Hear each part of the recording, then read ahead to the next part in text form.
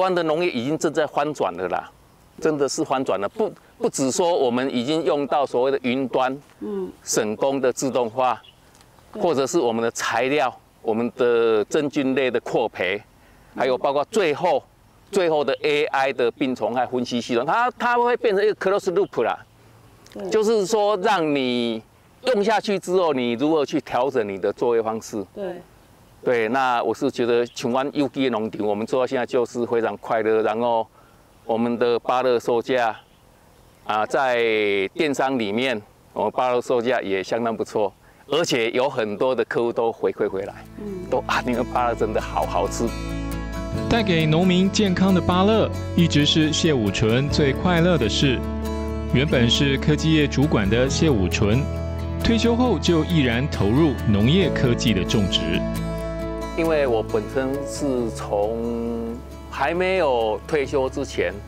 已经斜杠到农农业这个区块啊，因为那个时候是兴趣，所以只能够星期六日嘛哈，然后过来这个小的区块来去做一些，就是做农的一些兴趣的动作啊，也吃一些没有农药的蔬菜。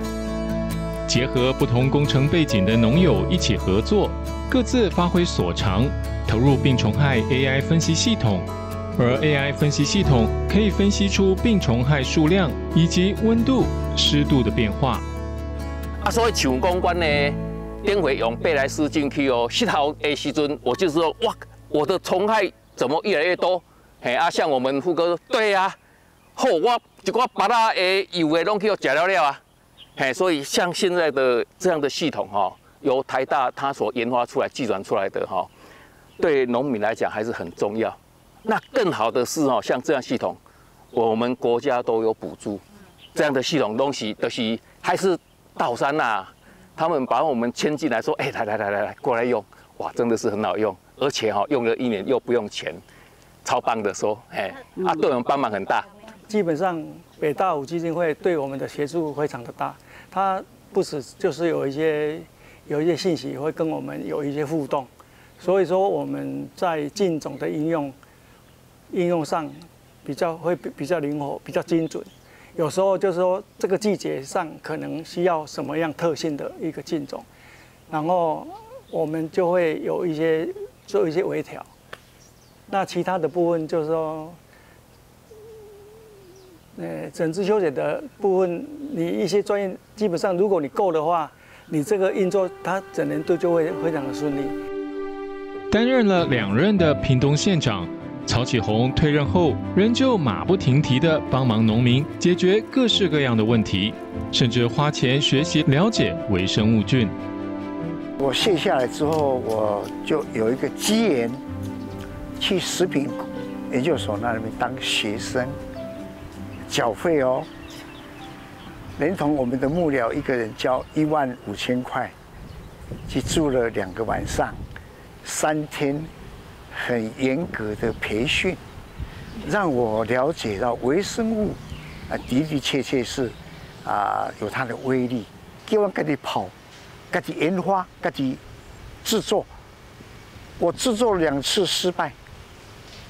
那后来第三次成功了。嗯。原来这么简单，所以我就建议廖博廖博，我们可不可以出来推广？好多米卖用遐贵啦，啊，但大家拢普遍用啦。这个想法与举动，就是希望让农民学习简单的制作概念，往后要使用可以自己制作。就在渔业署与农粮署的支持下，食品工业研究所的廖丽玲博士。展开了推广活动。光合菌五年，但是我只是喷地面上，地面上，我觉得它喷树上的效果可能我看不到。但是喷地面上，如果有机质够的话，它的分解能力非常的好。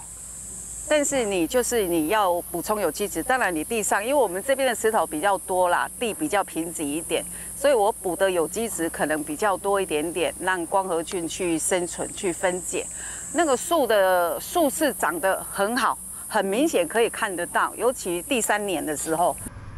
其实我养虾已经算起来好几十年了啦。我家里从民国七十五年就开始养了，但是因为我在当警察，是我真正投入是我退休以后一百零五年，嗯，嘿，然后在一百零六年我参加这个社区的关怀据点志工，那刚好有这个机会去上我们道山基金会的光和菌的这个课程，那后来我就我的虾池就一直使用这个光和菌，好，一直到现在。光合菌从农民实际的使用与分享后，逐渐影响更多想了解的农民加入。而大武山基金会董事长曹启宏，几乎参与每一次课程的开课分享与鼓励。我们就高兴，你看屏东有光合菌的协会，高雄也在组，台南也组，嘉义也组，各个县市彰化也在组，云林也在组，也就是说。大家愿意分享，那这个就是达到我们，哎，提升嘛。更不容易的时候，有时候我们会碰到有一些高手，像台南的黄正德，一年他的土壤会拿到改良场去验土。这个季节，他种完之后，他的土壤里面的肥分缺了什么？他要种红龙果的时候。还需要什么？他种别别的作物的时候，还需要什么样的肥分？改良场非常有耐心，而且是免费给他建议报告。哎呀，这个太棒了！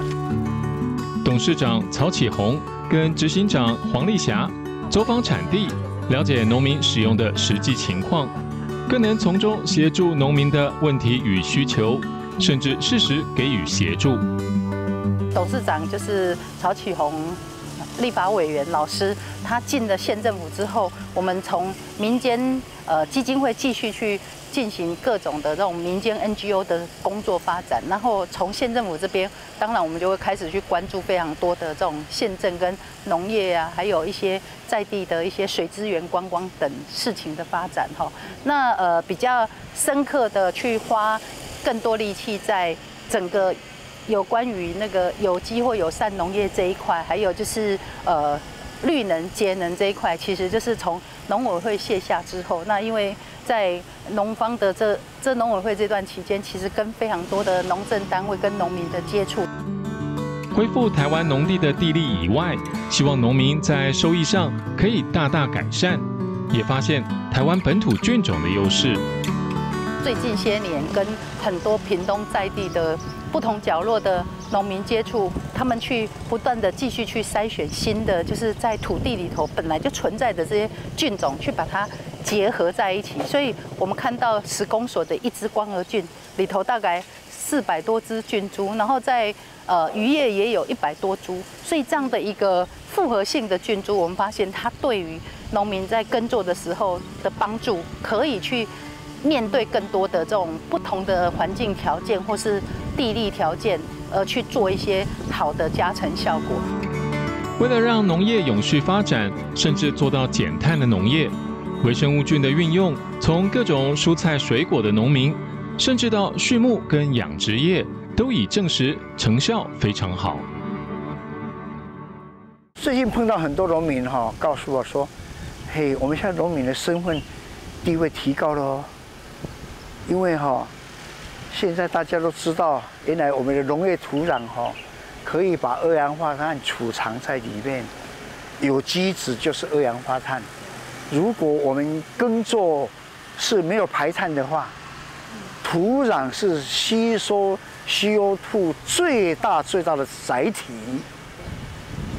啊。所以现在已经有很多的世界的专家都专注在土壤的纯碳，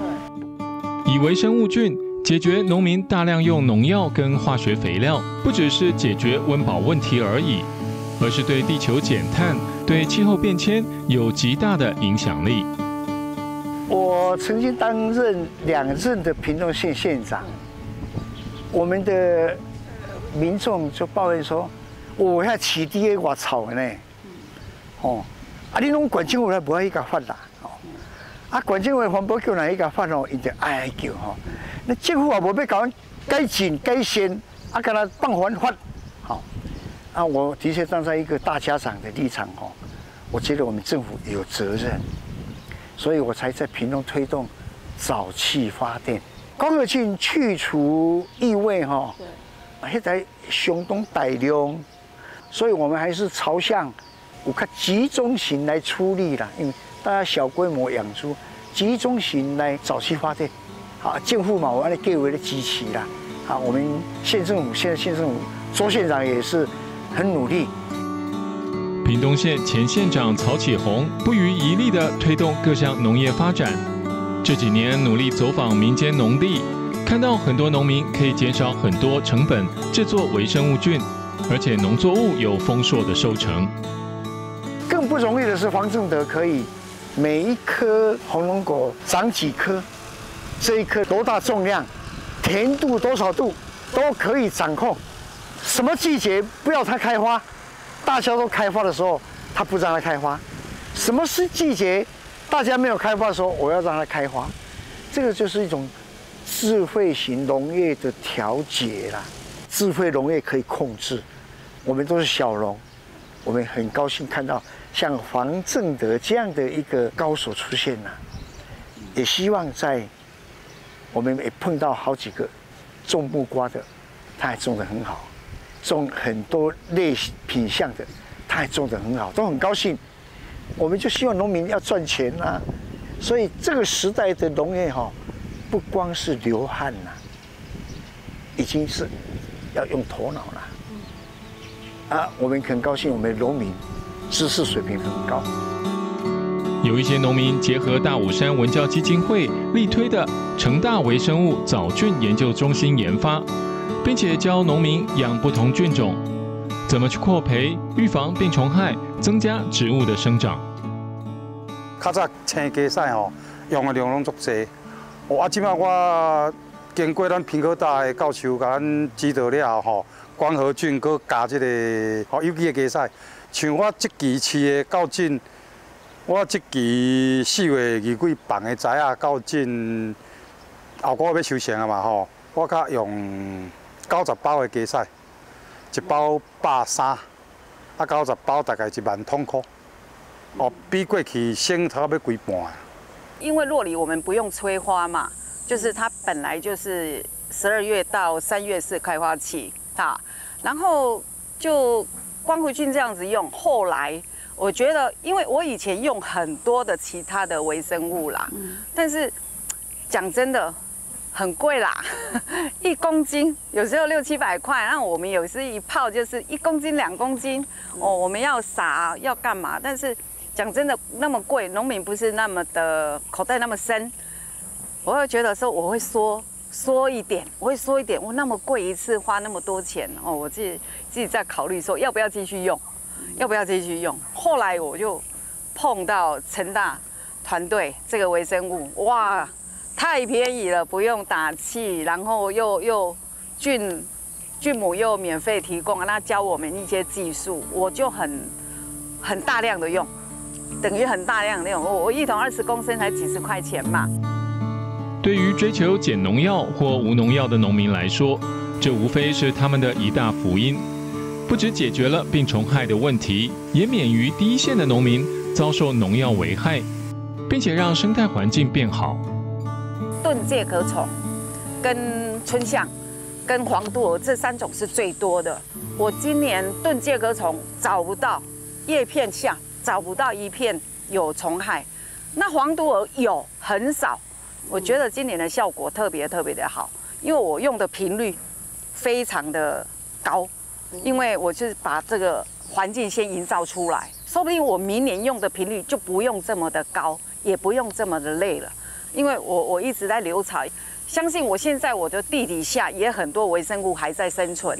对，还在生存，所以变成说，嗯，这个微生物第一个简单方便又很省钱，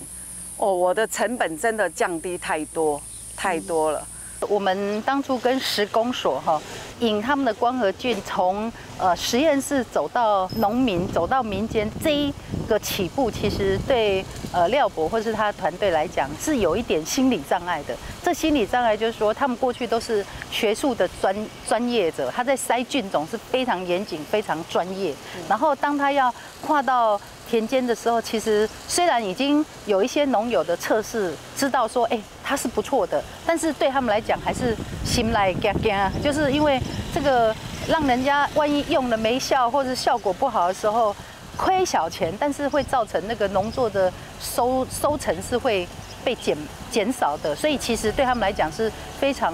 慎重而且稳定的要踏出这一步。食品工业研究所的廖丽玲博士。从实验室走出，下乡民间，再到农田，实际参与农民试用后的成果，不仅现场交流解决问题，每天几乎守着赖群组，专心为农民回答问题。我觉得农民不是不愿意去分享，或是去把自己的方法告诉别人，有时候是。怕自己这样的方式是不是适合每一个人用？所以呃，我们这样的社群成立之后，相同的一件事情，在这社群里头有人抛问之后，哎，就会有非常多的农友就会开始叮叮咚咚，就把他们想法意见汇集进来。可是每个人的想法跟意见，其实在这群组里头还是会有很大的差异，会有不同想法跟不同方式。所以这个也就是过去我们在看说啊，大家。在讲说有拍波白嘎，其实大家心情就是安尼，就是一个方法不一定适合每个人。上好的就是这段时间来，咱虾仔在饲吼，加较顺，吼啊，当然收成也较好。像课刚讲的，营造那个友善的养殖环境，这嘛是咱会当做。但是咱咱讲坦白，这个东西不是万灵丹，吼，还是加上其他的管理的那种技巧，吼。但是起码这个使用是。五五鹤无外，它只有我我是觉得只有益处没有坏处啦。啊，你整个我们把这个养殖的环境营造了以后，虾啊饲的企的哇企的大家，尤其起码价钱可好。哦，啊，咱的消费者最主要的是讲，我们就是在营造那个无毒的环境。好，咱的咱尽量卖用药啊嘛。不管是农业还是渔业，甚至到畜牧业。微生物菌已遍及各个角落，只要农民或渔民愿意接受新观念，改变现有的用药模式，对推广者来说，都是深耕台湾农渔畜牧业往更好的方向前进。